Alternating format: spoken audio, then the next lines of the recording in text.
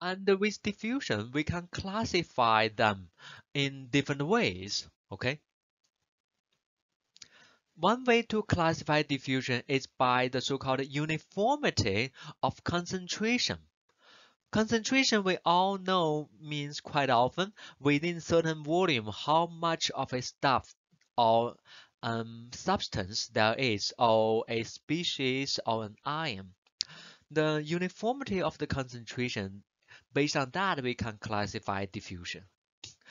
One type is called interdiffusion, which means there will be so-called a microscopic concentration gradient, which means within the bulk of the material, certain location the concentration would be higher, while some other location the concentration would be lower. And the location, the high concentration region and the low concentration region are separated by microscopic distance. For example, at least microns or even millimeters. Okay. In comparison to interdiffusion, where we have so-called concentration gradient, even without concentration gradient. Even the material concentration is completely uniform. Completely uniform. That will be so-called self-diffusion. The microscopic species, the atoms, the molecules may still move in a random fashion from one location to an another location to achieve so-called mass transport. This is so-called self-diffusion. It occurs when there is no concentration gradient. Okay. And quite often in material science, we are more talking about interdiffusion when there is concentration gradient. But self uh, diffusion also happens all the time, as we will explain later. Okay, classification of of diffusion can also be based on the direction of diffusion with respect to concentration. This is for interdiffusion. Okay, there can be so-called downhill diffusion. Downhill means goes from high concentration to low concentration. The microscopic species, for example, atoms or molecules are moving from the region when where they have high concentration to regions where they have lower concentrations.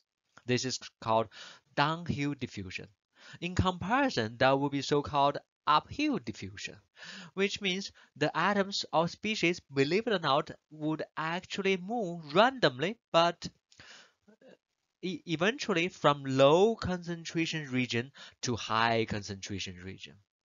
And between downhill diffusion and uphill diffusion, the downhill diffusion is more common, more prevalent and it will be the greater focus for this class. And, but on the other hand, we will also talk about uphill diffusion. The diffusion can also be classified by the route or we say pathways of diffusion. Okay? The diffusion may occur so-called within the bulk of the material, within a big grain of the material, which means the atoms or molecules occur within the bulk of the material within the grain, if it's crystalline or within the glassy phase. It may also occur along the material surface, which is the boundary between within the material and the vacuum or gas atmosphere.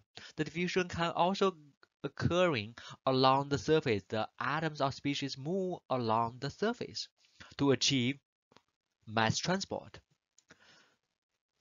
The diffusion can also occur along other defects within the bulk material.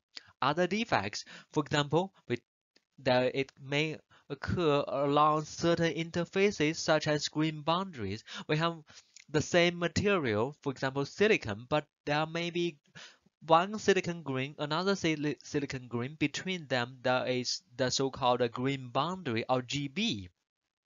Well, atoms' arrangement got messed up a little bit, which we'll talk about, but the species, atoms or molecules or ions may move along grain boundaries to achieve mass transport.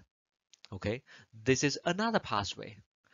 The diffusion may also occur along dislocations. Hopefully you are familiar with dislocation, which is so-called a linear or one-dimensional defects within crystalline material. There is edge dislocation, screw dislocation, or other mixed dislocation. But diffusion, the atoms or ions or other species may move along the this linear or one-dimensional defects called dislocation to achieve, again, mass transport. By mechanism, we can also classify diffusion, which is also, you can call it a pathway. There is so-called substitutional diffusion. For example, the diffusion between copper and nickel.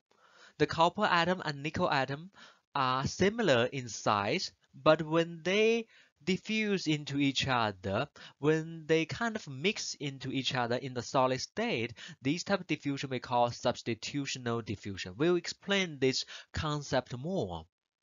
In comparison, there may also be so-called interstitial diffusion. Interstitial diffusion.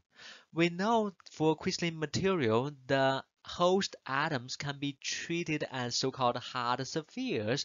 The atoms touch each other, they behave like a hard sphere, like a ball, hard ball. But between balls, there will be so-called opening or interstitial sites.